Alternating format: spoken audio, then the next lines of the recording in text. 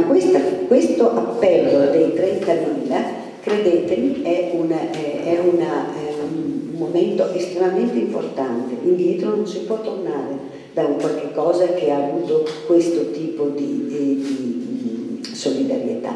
Quindi, come dico sempre, c'è in Turchia oggi un forte movimento e poi la terza cosa, dirò anche questa, è la ricerca delle radici. Moltissimi giovani turchi si stanno rendendo conto che fra i loro antenati una nonna, un nonno, più, più spesso donne, probabilmente era armeno o siriaco. E cominciano a cercarli. Fino ad adesso avere una, un nonno, avere un antenato armeno era considerato una, una macchia sulla propria identità, tant'è vero che chi aveva un antenato armeno non poteva fare il servizio militare cioè scusate, faceva il servizio militare ma solo come soldato semplice, non poteva restare nell'esercito. Adesso, adesso questi, questi, ragazzi, questi giovani cominciano a cercare, gli interessa sapere perché il popolo armeno e il popolo turco sono inestricabilmente legati da secoli e secoli di convivenza, capite? Questa specie di, di, di, di colpo di spada che ha eliminato una parte del, del, del paese in realtà è stato un impoverimento collettivo.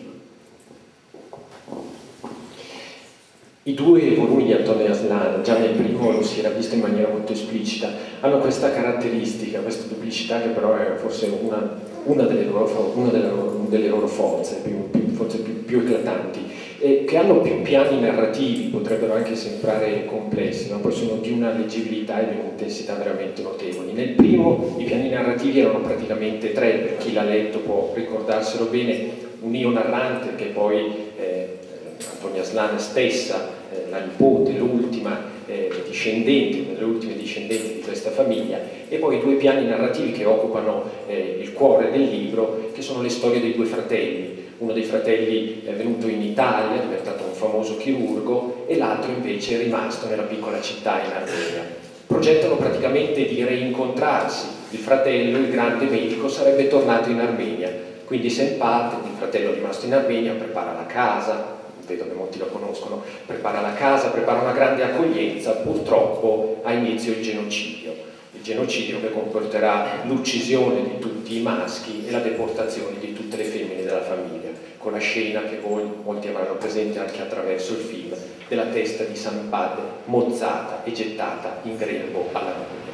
La strada di Smirne che inizia praticamente con eh, l'imbarco dei quattro figli delle tre figlie e del figlio Nubar travestito da donna eh, su una nave per andare a Venezia a raggiungere lo zio, dicevo nella strada di Smith questi piani narrativi si complicano ulteriormente. C'è l'io narrante, c'è la bambina Antonia Slan che racconta la storia, ogni tanto fuoriesce in maniera esplicita, eh, eh, commentando la storia stessa, c'è la storia dei bambini che arrivano a Venezia, del loro acclimatamento in Italia, in una cultura, in un mondo totalmente diverso. C'è la storia di Ismene e di Isacco, prima ad Aleppo e poi a Smirne, che continuano il loro compito di assistenza benevola al popolo armeno facendosi carico di alcuni bambini dell'orfanatrofio locale e c'è un'ulteriore storia, quella di Nazim, che abbiamo accennato con l'incendio della chiesa, che tenta di ritornare nella piccola città. Dopo l'uscita del secondo libro eh, si può presumere che ci sarà una trilogia.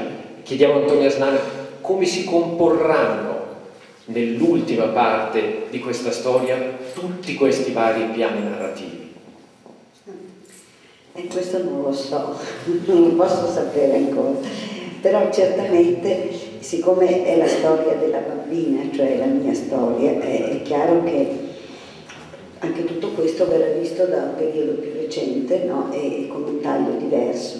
Io credo che, io credo che ci, qualche, ci, sarà qualche punto che va verso Oriente, però non so ancora dove e come, perché i miei, i miei zii, i miei cugini sono pure rimasti lì quando io, eh, quando avevo 20 anni, 22, ho fatto un, famoso, famoso per me naturalmente, viaggio in Medio Oriente in cui, in cui ho, ho, visto, ho capito eh, la vita Ale, ad Aleppo, a Damasco, a Beirut, la, parenti che, che, parenti che hanno un'ospitalità straordinaria, ho capito, ho visto le persone, capite? È, è stata una, una, cosa che mi ha molto nutrito all'epoca, ecco questo salterà fuori di sicuro.